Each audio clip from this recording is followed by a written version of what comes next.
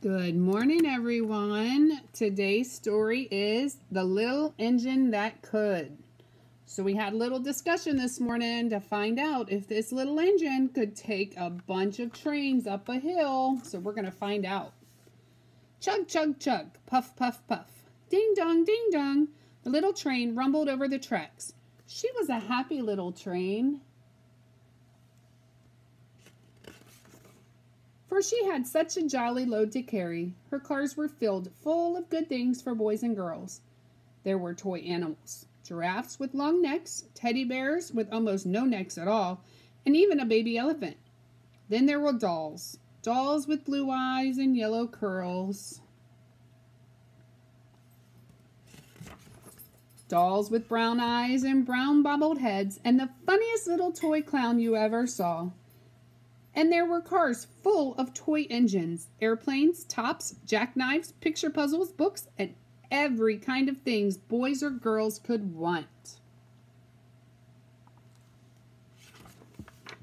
But that was not all. Some of the cars were filled with all sorts of good things for boys and girls to eat.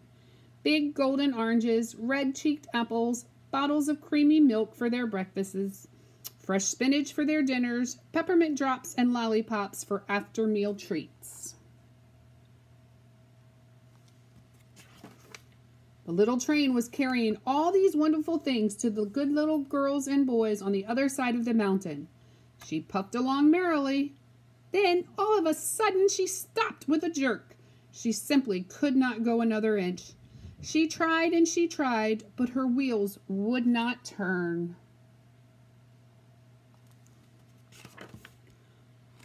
What were all those good little boys and girls on the other side of the mountain going to do without the wonderful toys to play with and the good food to eat? Here comes a shiny new engine, said the funny little clown who jumped out of the train. Let us ask him to help us. So all the doys, dolls and toys cried out together. Please, shiny new engine, won't you please pull our train over the mountain? Our engine has broken down, and the boys and girls on the other side won't have any toys to play with or good food to eat unless you help us. But the shiny new engine snorted, I pull you. I am a passenger engine. I have just carried a fine big train over the mountain with more cars than you ever dreamed of. My train had sleeping cars with comfortable berths a dining car where, wait, where waiters bring whatever hungry people want to eat, and parlor cars in which people sit in soft armchairs and look out of big plate glass windows. I pull the likes of you? Indeed not. That wasn't very nice, was it? And off he steamed to the roundhouse where engines live when they are not busy. How sad the little train and all the do dolls and toys felt. Then the little clown called out, The passenger engine is not the only one in the world. Here is another engine coming, a great big strong one. Let us ask him to help us. The little toy clown waved his flag and the big strong engine came to a stop. Please, oh please, big engine, cried all the dolls and toys together. Won't you please pull our train over the mountain? Our engine has broken down and the good little boys and girls on the other side won't have any toys to play with or good food to eat unless you help us. But the big strong engine bellowed, I am a freight train. I have just pulled a big train loaded with big machines over the mountain. These machines print books and newspapers for grown-ups to read. I am a very important engine indeed. I won't pull the likes of you. That wasn't very nice either. And the freight engine puffed off indignantly to the roundhouse. The little train and all the dolls and toys were very sad. Cheer up, cried the little toy clown. The freight engine is not the only one in the world. Here comes another.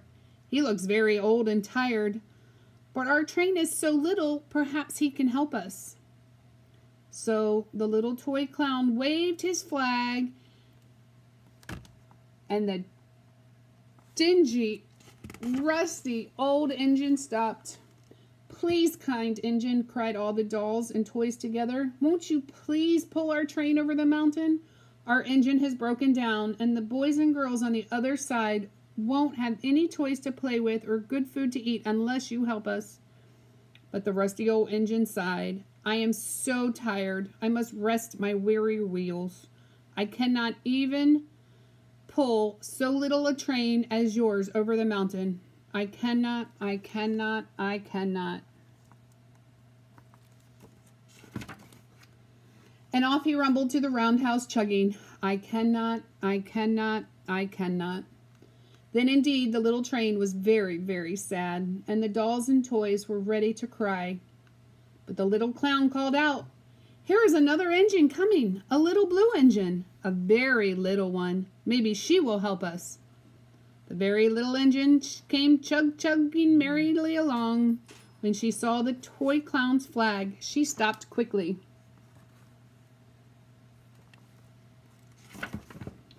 What is the matter, my friends? she asked kindly. Oh, little blue engine, cried the dolls and toys. Will you pull us over the mountain? Our engine has broken down, and the good boys and girls on the other side won't have any toys to play with or good food to eat unless you help us.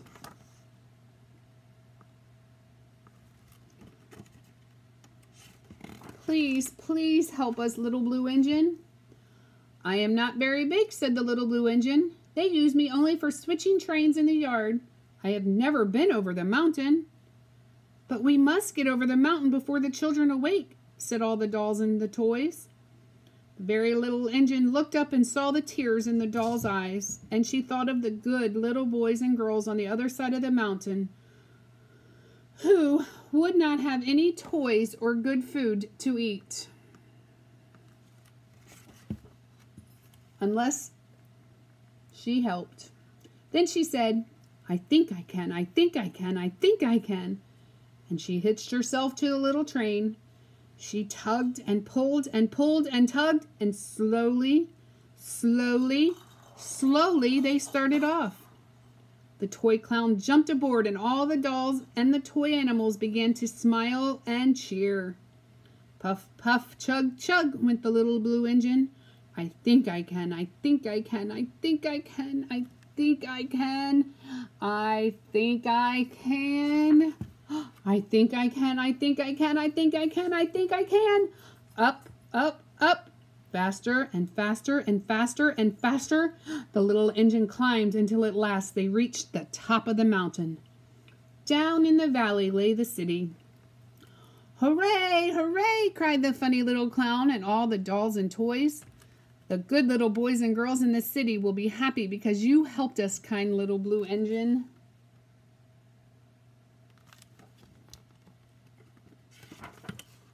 And the little blue engine smiled and seemed to say as she puffed steadily down the mountain, I thought I could, I thought I could, I thought I could, I thought I could, I thought I could, I thought I could.